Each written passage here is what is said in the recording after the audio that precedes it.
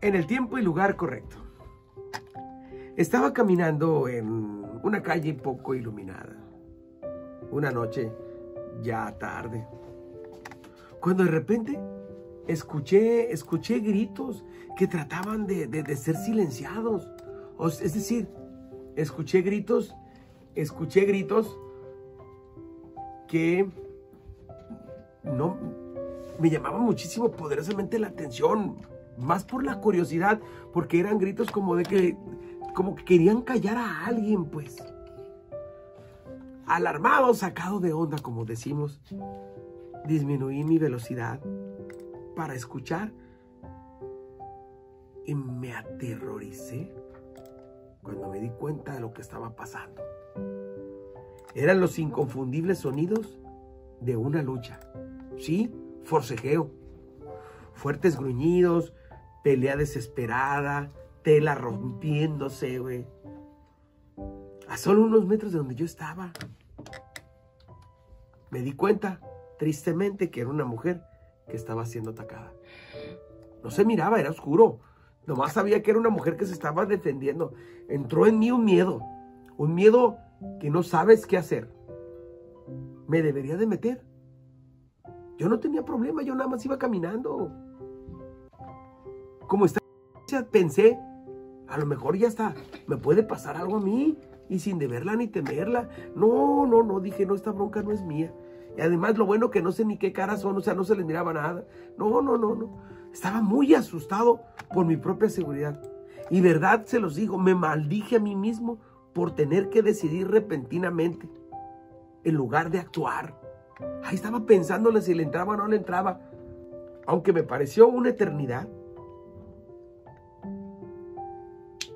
tomé acción. Finalmente me decidí. No podría darle la espalda a esta mujer. Aún si esto significaba a lo mejor, a lo mejor perder mi propia vida. Miren muchachos, yo no soy hombre muy valiente que digamos.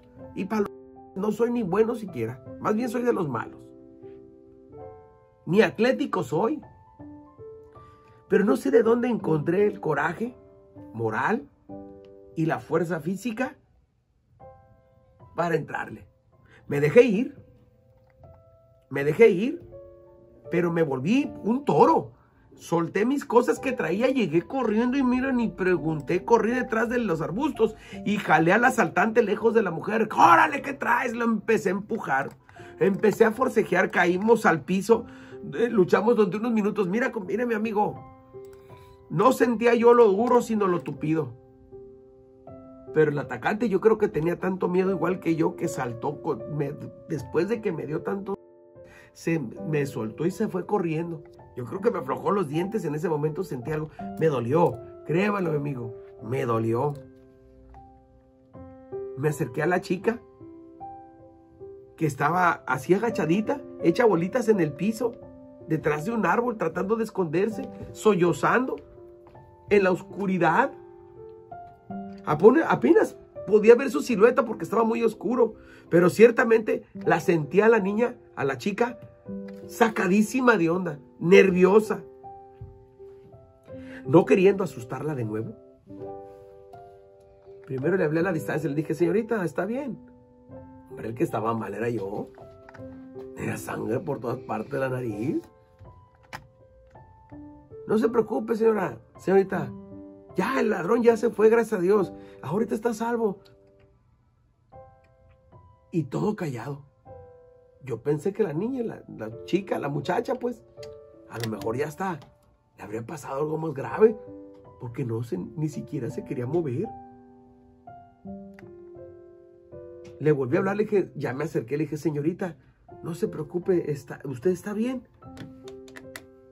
Y oí lo que jamás pensé escuchar.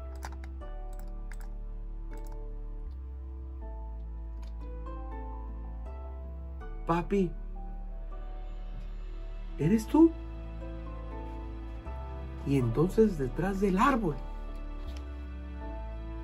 salió caminando mi hija. Era mi hija. Era mi hija. Mi propia hija. Amigos, no la pienses. Yo la pensé.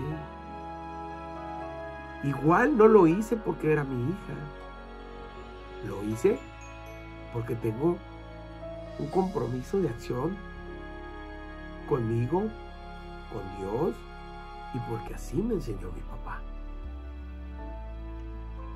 Lo cierto, Dios tiene la manera de permitirnos estar en el lugar adecuado en el momento indicado.